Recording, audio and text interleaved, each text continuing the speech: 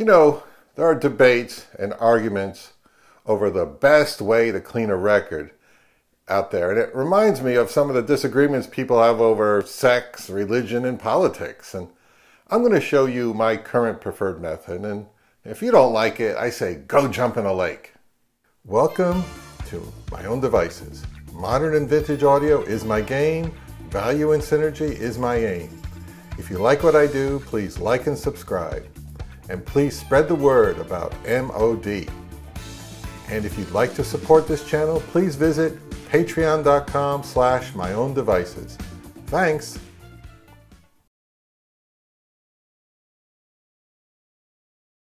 So let's go through my recent acquisitions over the last, uh, even yesterday and a couple weeks ago. I got this Joni Mitchell Hejira album. I already had a copy, but it was uh, kind of beat up. I don't know if this is any better. I got, these were like three for 10 bucks. So I got this, this Traffic John Barleycorn Mustang album. That was three for 10 bucks.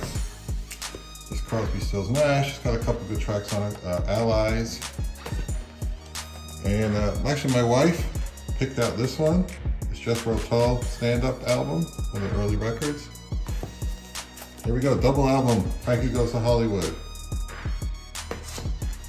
Another live album by Joe Jackson. I've never seen this before, but it, uh, it's live from the 80s, live performances by Joe Jackson. I'm a big fan of his recently. There's a Jackson Browne The Pretender, three for 10 bucks, or three bucks each, whatever they were. Uh, here's another Joe Jackson album from the 80s called um, Beat Crazy. I uh, picked up this a couple weeks ago, this Yes album, Tormato, eh. Dexy's Midnight Runners, that was cheap, like three bucks. I got the first Tubes album, used to like them a lot, eight bucks. Um, Hall & Oates, their album, uh, Sara Smile and uh, Bitch Girl on this one. Horrible album cover, but all right. Picked this up a while back. Haven't never cleaned it yet. I haven't really played it yet. Ummagumma, Pink Floyd. And the second Chicago album. Chicago 2. Oh, there's one more here. And, oh, XTC, Waxworks, singles, 1977 and 80, 82. All right. I've been using a spin clean for a while to clean my records, but I really felt that I needed to take record cleaning to the next level. So after a while and doing some research, I decided to go, to go ultrasonic. So if you're not sure what an ultrasonic cleaner is, well, it's a device that cleans through high frequency sound waves that are transmitted through water to scrub clean the surface of immersed objects. The high frequency sound waves agitate the water and create microscopic bubbles that can get deep inside tiny spaces like a record groove, and, in, and then they implode, dislodging any minuscule contaminants. I went and spent my money on the iSonic Ultrasonic Vinyl Record Cleaner. Let me give you a quick tour of the iSonic. Now this is a normal large ultrasonic cleaner with the usual features. You can add some heat to the bath, although I don't recommend doing this. I read somewhere that it might get a little too warm for vinyl. It also has a timer with four preset times. There's a hose that you can attach to the side with a lever to open and close it when draining the tank. Now, these additional parts make it a vinyl cleaning system. First, you get the motorized rotating spindle mechanism. And this has an incorporated bracket that's made to fit on the side of the ultrasonic tank. And it pivots up and down to lower and lift the records out of the water. The spindle on this model is made to accommodate five records and also comes with a set of these label protector discs. And for an additional charge, you can buy one that holds 10 records. Each one of these discs has a rubber gasket to grip the records and prevent the labels from getting wet.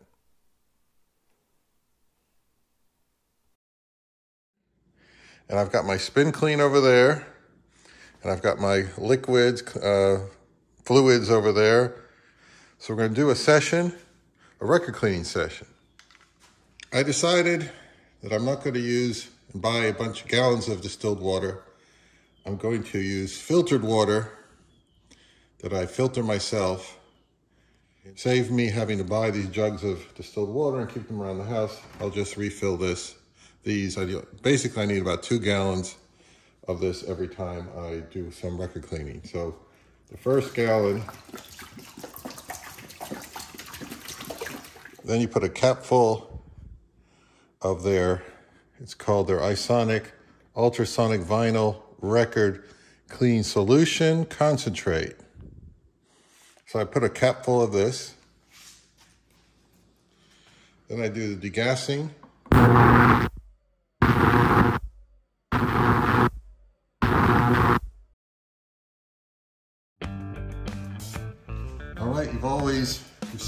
This a few times before, but the first step for every new record that I get, that I buy, it's a, a session in the spin clean. So I do it like three turns, turns one direction.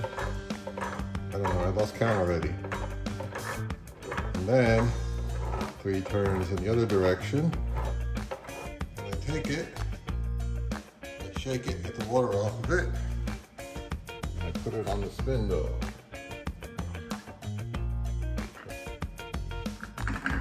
Up like this.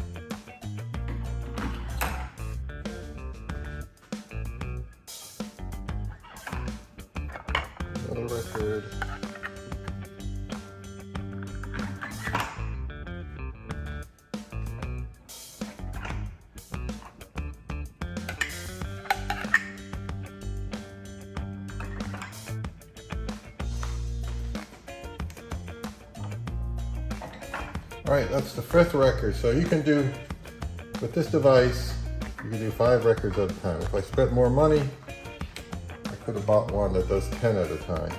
But I think five at a time is fine. Now listen, there's some people out there say, oh, you can't do records like this.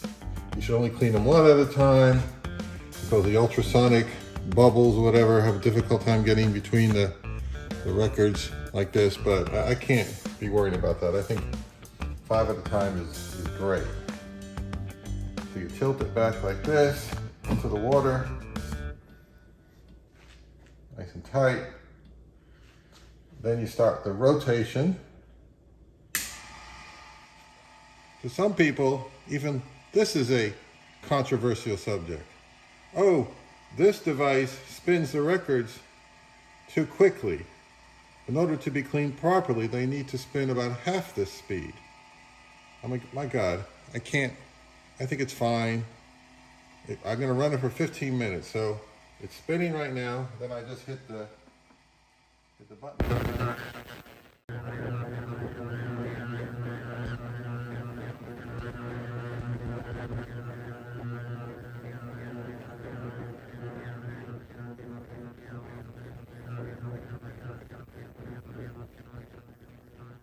All right, time is up.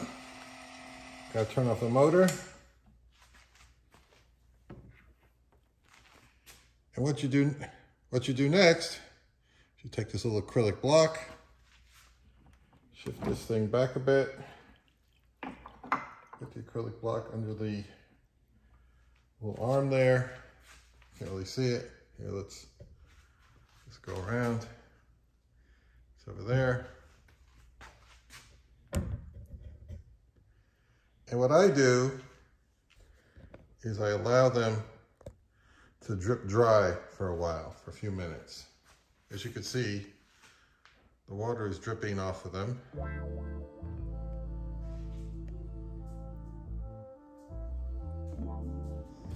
All right, I believe enough time has passed. I unscrew the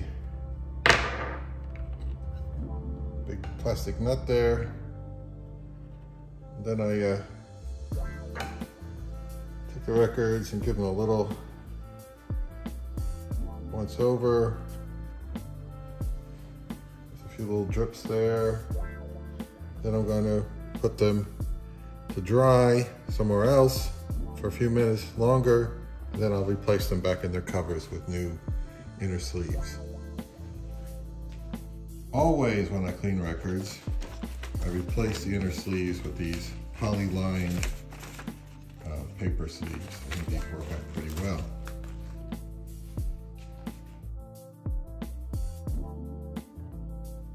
I used to spin clean to get the bulk of the surface dust off the records. The iSonic does the deep cleaning part of the process. I've actually been considering getting one of those noisy record vacuum devices. So after it's removed from the ultrasonic bath, the water is immediately vacuumed off.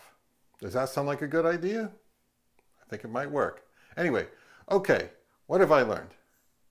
I've learned that it does cost money to keep your record collection neat and clean. And a spin clean is like $80 and the iSonic ultrasonic system is around $780. So, you know, that sounds like a lot of dinero, I know, but if you have or plan on amassing a significantly large record collection, a next level record cleaning device is necessary if you want your records and cartridge stylus to remain at their best. Yes, it is a process that will take you a few hours to complete, but I think it's worth it in the long run, especially if you value your record collection. Hey, check out my latest addition to the process. This is a handy, compact record drying rack, and I think it's probably better than leaning the records against the back of a bar stool, which is what I have been doing for the last few months. All right, well, thanks a lot. And oh, Please, I'm sure there's plenty of people out there who are thinking, oh my God, he's doing it all wrong. He's ruining his records. What an idiot. Um, go ahead, leave your comments, give me your best shot. All I know is my records are clean, they sound good. So, you know, so what? Okay? All right. Thanks a lot. Goodbye.